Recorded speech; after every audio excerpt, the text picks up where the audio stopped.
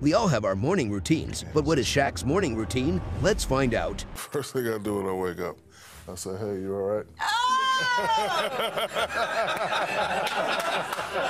say, what you doing? Who are you interviewing today? Oh, you're interviewing me? All right, I'll be right behind you.